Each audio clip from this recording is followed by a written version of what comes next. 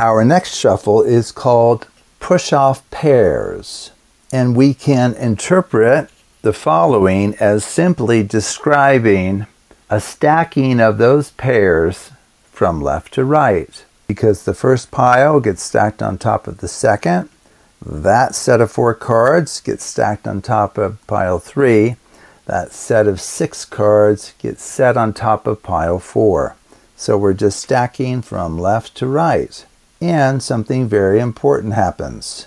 We'll need to talk about what this means. But this is a way to represent the identity permutation, which means we really should get back to the original ordering of the cards. So let's go ahead and perform the shuffle and see what happens.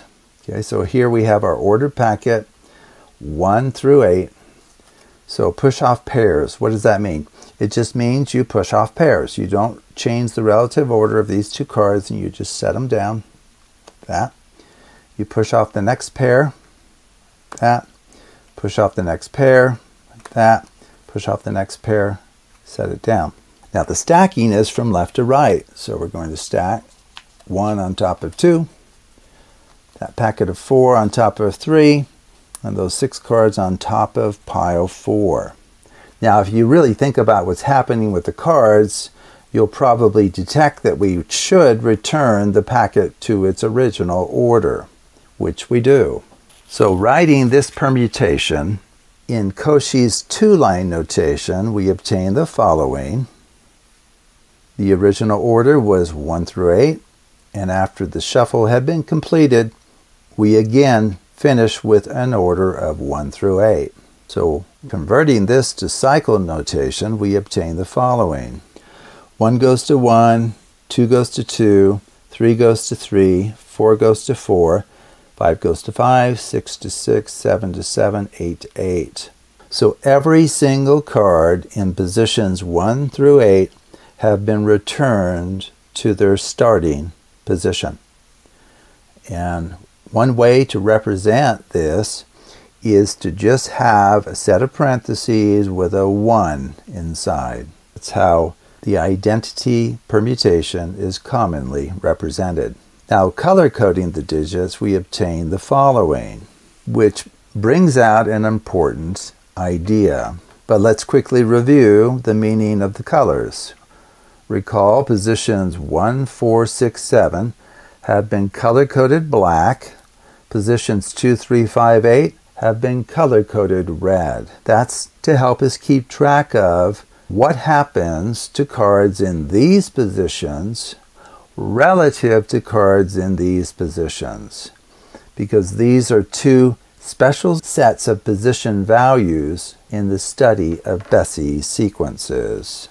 So what we see here is we get eight one cycles. And as we've discussed in this series, as long as the context is clear as to how many objects you're working with originally, we normally do not include one cycles in our cycle notation of permutations.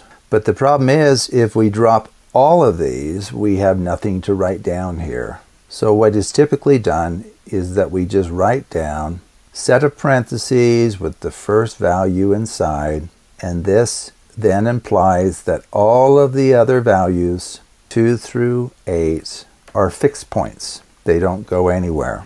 And so we see that black 1 goes to black 1, red 2 to red 2, red 3 to red 3, and so forth. So each value gets sent to a value of the same color because it, each value is being sent to itself. So in particular, inversion does not occur here all of the cards that began in positions 1, 4, 6, 7 end up in those positions. In fact, they end up in their original positions. And all of the cards in positions 2, 3, 5, 8 also are returned to this set of position values. So we would be looking at this situation here. So if you feel the need, we can go ahead and just demonstrate this and apply it to our Bessey sequence 10010110 and we'll get back to the exact arrangement here. Not only the exact form, 1001, 0110, but none of the cards will actually have been moved from their original positions. Or another way to say it, each card is returned to where it started.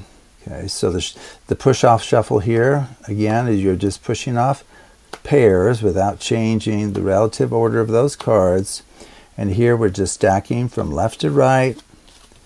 And this will give us the exact original ordering of the packet that we had before. Now that's hard to tell here because we have two distinct identical labels, namely 0 and 1, but indeed every card's been returned to its original location.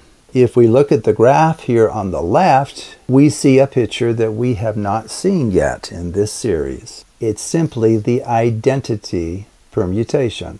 So there's no arrow, or if you would like to draw an arrow, we would have an arrow that goes, that wraps around, goes back to 1, an arrow that starts at 2, wraps around and goes back to 2, and so forth. So circular arrows could be drawn, but such a shuffle diagram represents the identity permutation, and that's indicated down below.